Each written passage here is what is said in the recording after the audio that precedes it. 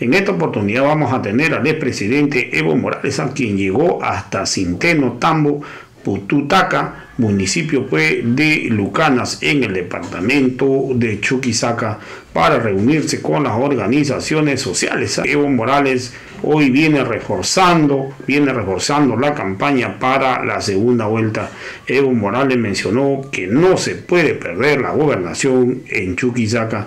Hoy Evo Morales sigue recorriendo, buscando y fortaleciendo para buscar ganar esta gobernación en la segunda vuelta. Vamos a escuchar pasajes de la intervención del expresidente Evo Morales. Y no solamente eso, hermanas y hermanos.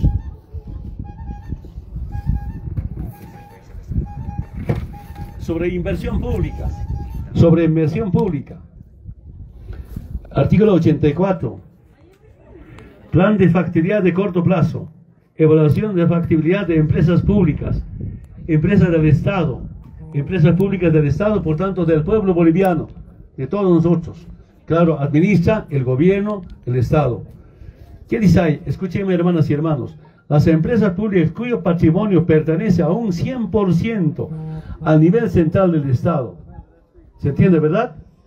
Las empresas públicas cuyo patrimonio pertenece en un 100% al nivel central del Estado deben presentar un plan de factibilidad de corto plazo que exponga la información suficiente para determinar la sostenibilidad de la empresa pública.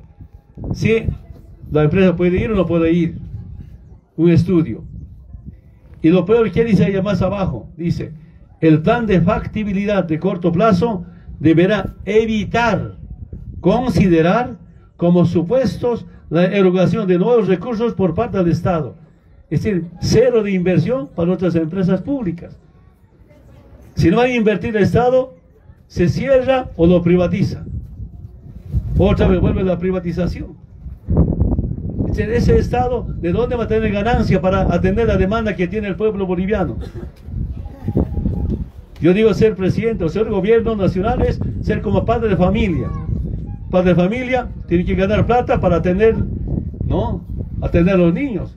Cuando los niños están en la escuela, poca plata. Cuando están en colegio, un poco más plata. Cuando están en la universidad, ya estamos fregados. Algunos, tal vez ya, meterse contrabando para tener plata por decir, ¿verdad? La mamá ya comerciante, antes no, no, no hacía nada. Al compañero trabaja en la agricultura, pero también transportista, mata cambio, por decir. Porque hay que atender la demanda, porque falta plata, porque los chicos ya están en la universidad.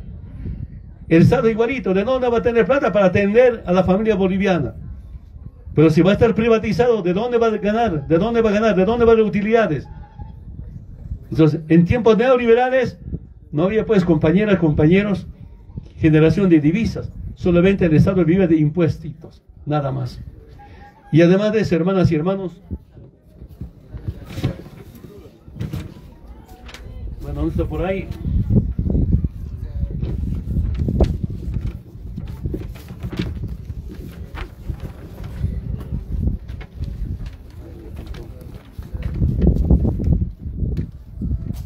Mira, tema de inversión, en tema de inversión, es en artículo, a ver, 82, ¿qué dice? Reducción del gasto corriente. Reducir el gasto corriente. En el fondo, reducir el presupuesto de inversión. Las instituciones públicas del Estado central deberán reducir en 15% de de sus saldos presupuestados de ejecución. Otra vez, achicar al Estado el Estado que no invierta. Los chicos del mundo, ¿qué dicen? El Estado, quieren un Estado enano, Estado pequeño, Estado mínimo, ellos manejan el Estado mínimo. Ese Estado mínimo que no invierte, solamente regula. ¿Qué regula? Impuestitos solamente. Y no genera divisas, si no tiene plata. No invierte en nuevas empresas públicas. Si no vamos a ampliar el aparato productivo, ¿de dónde ese gobierno va a tener plata? Y por eso, año pasado paralizaron, volumen paralizado, litio paralizado. compañero Lucho, nuestro presidente, me dijo 40 empresas públicas, pequeñas, medianas, grandes, paralizados. Ese es el modelo neoliberal. paralizando, ah, va a decir, no es factible, no hay, no es factible, no es sostenible. ¿No? Ah, no hay inversión para, esa empresa que no es sostenible, se cierra o se privatiza. Y solamente el Estado nuevamente regula. Compañeras, compañeros, les comento esto porque estamos, nosotros tenemos un programa del pueblo, yo digo, un proyecto político, un programa de desarrollo. Y eso es en base a la inversión del Estado. por supuesto, todos tenemos propiedad privada. Tienes un derecho. Sectores privados acompañan la inversión. Sectores cooperativas, asociaciones familiares, asociaciones de algunos rubros también invierten, acompañan al Estado. Pero el Estado encabeza la inversión y eso ha dado resultado para que Bolivia crezca económicamente. Hermanas y hermanos, aquí no solamente estamos, por tanto, por un candidato, no, estamos por un proyecto político de liberación, pero también un programa del pueblo. Ese programa del pueblo viene del pueblo, de los métodos sociales, que es la base de ese programa del pueblo, la nacionalización. Hermanas y hermanos, repito nuevamente, nos quieren dividir. Hasta algunos hermanos masistas se lo llevan a la derecha, a las agrupaciones, debilitar, debilitarnos, compañeros, compañeros, dividiéndonos, que ellos ganar las elecciones, después privatizar como este decreto supremo. Yo quiero saludar al hermano Lucho Arce, este decreto supremo 4272 ya está abrogado. Un aplauso para el hermano Lucho Arce. Pero sepan, hermanas y hermanos, que los jóvenes sepan, si gana a la derecha, vuelve el decreto supremo. Está ahí, no es ninguna mentira. No, bueno, estaría harto. Todo el día podemos hablar de eso. Hoy día, compañero ejecutivo de la provincia, me invitas, especialmente a estar, con las juventudes todo el día debatiendo, repasando la historia, repasando los datos económicos. ¿Por qué nuestro instrumento político ha mostrado otra cara al mundo? Porque hemos garantizado la soberanía del Estado, la del pueblo y además es nuestra diversidad. Quiero que sepan, la diversidad cultural es la riqueza de nuestra identidad, es la riqueza de nuestra dignidad. Hay que valorar eso, nuestras músicas, ¿verdad? Es, impresionante. En el exterior nos valora bastante, claro, cuando estaba de presidente, cuando venía a entregar obras, ¿verdad? Siempre venía con Canal 7, ¿no? Y a los alcaldes recomendaban, los dirigentes, quiero ver la mejor música, la mejor vestimenta, además de la mejor joven simpática acompañar con su vestimenta para demostrar la imagen, eso es pues, ¿no? Y el exterior miraba más Canal 7, mientras en las ciudades algunos caritas no miraban Canal 7, pero a la gente les gustaba. Esa es una imagen, cómo difundir nuestra identidad cultural. Hermanas y hermanos, el gran deseo que teníamos en Chuquisaca, que haremos en primera vuelta en la gobernación, no vamos a ganar, estamos en segunda vuelta. No desconfío, compañeros de San Lucas. San Lucas, compañeros, quiero ver 100%. Le va a decir al compañero Lucho,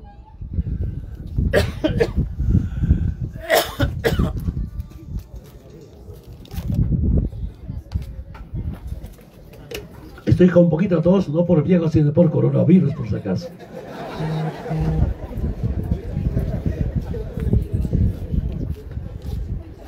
Entonces, compañeros, deben ser con todos los municipios como, como, como San Lucas. Año pasado más del 90%, este año más del 80%. Ahora quiero ver, compañeros de San Lucas, 100%, 100%, compañero se va a dar un premio a San Lucas, voy a hacer carga de eso. Y es posible, yo digo es posible cuando hay visión orgánica, cuando sabemos que nuestro proyecto político, nuestro programa del pueblo es nuestro, nuestro, ¿por qué? Es para eso un dirigente, explicar, bajar a las bases, informar. No estamos mintiendo, no nos gusta mentir, no nos gusta mentir ni tergiversar, menos hermanas y hermanos estar calumniando, sino por la verdad. Y la verdad siempre triunfa. Esa es nuestra responsabilidad. Y estamos con el hermano Juan Carlos León, candidato gobernador, y tenemos que andar el 11 de abril en, esta segunda vuelta. Si no, hermanas y hermanos, solo quiero decirles mi experiencia vivida como presidente. Cuando el gobernador, cuando el gobernador es de la derecha, ese gobernador no trabaja con el gobierno nacional, Anoche estaba comentando Bueno, de tantos ejemplos, pongo solo un ejemplo de Beni. Antes el gobernador era Ernesto Suárez, Satori, de la derecha a derecha. Y el alcalde de que también era de la derecha, ex ministro de la presidencia de la señora Áñez. Entre La Paz y Beni hay un río grande, el río Beni, grande, cuesta 20 millones de dólares la construcción. Y cuando Satori, Ernesto Suárez Satori estaba de gobernador, quisimos hacer el puente. No quisieron. A los técnicos de ABC, a los técnicos del BIT, porque el financiamiento estaba garantizado por el BIT, cuando han ido a trabajar la parte técnica, les han votado, les han hecho escapar. Suspendieron. Hemos perdido como cinco años. Después hemos ganado la alcaldía en Rure. Ganamos la gobernación con Alex Ferriel. Recién han empezado a trabajar. Pero ¿qué habían dicho esa vez? La derecha, en el gobierno departamental y gobierno municipal. Habían dicho, si Evo construye el puente, Evo va a ganar políticamente. Para que no gane Evo políticamente, no hay que dejar que construya el puente. Imagínense semejante mezquindad, egoísmo. No está pensando en su pueblo. En todo caso, el que va a ganar es el pueblo, pues, con un puente. Así de mezquinos son. Hermanas y hermanos, ¿cómo es posible podemos perder la gobernación? Ya tenemos gobierno nacional. Necesitamos gobierno departamental. Tenemos muchos gobiernos municipales. Entonces, que ganar el gobierno departamental que el hermano Juan Carlos León trabaje con el hermano Lucho Arce, presidente, David vicepresidente. Esa es nuestra tarea. Solo quiero decirles, hermanas y hermanos, en esta pequeña intervención, repito nuevamente, si usted me invita, hermano ejecutivo, hermanos, yo me vengo después de él las elecciones. Ahora, nuestro de presidente, tengo tiempo, quiero compartir mi lucha, mi lucha sindical, pero también la gestión del Estado plurinacional, experiencia, experiencia, sobre todo con los jóvenes. Pregúntenme, no voy a hablar, sino primero voy a hacer llover preguntas y voy a responder a cada pregunta, prepárense las preguntas. Y también les va a preguntar, cuidado con que se aplacen, jóvenes. Va a ser también otro desafío. Así como el viejito, felizmente pasó el viejito, no se ha escapado por no hacerse preguntar, ya se escapó el viejito. Mis hermanas y hermanos, vamos a debatir profundamente. Estamos hablando de Bolivia, de nuestra querida Bolivia. Estamos hablando de nuestro proceso de cambio. Estamos hablando de las nuevas generaciones. Hay que identificar quiénes son los enemigos internos, quiénes son los enemigos externos de la vida, de la humanidad especialmente las nuevas generaciones. Hermanas y hermanos, me he pedido acá acompañando ayer hoy día, compañero, compañero de la elección departamental, saludos, su esfuerzo, su compromiso, como también dirigentes regionales, compañero Juan. Lo han dicho ayer, don Juan, cuidado Juan Carlos. ¿No? Estamos acompañando para ganar elección departamental. Me he pedido con mucho respeto, hermanas y hermanos, a la gente que está dudando, a la gente que se ha visteado, ¿verdad? hay que explicar y orientar. Que, repito nuevamente, dos cosas hemos parido. El instrumento político y la nacionalización. Y no podemos abandonar. Han llegado las obras gracias a la nacionalización. Si no llegaban las obras, sencillo.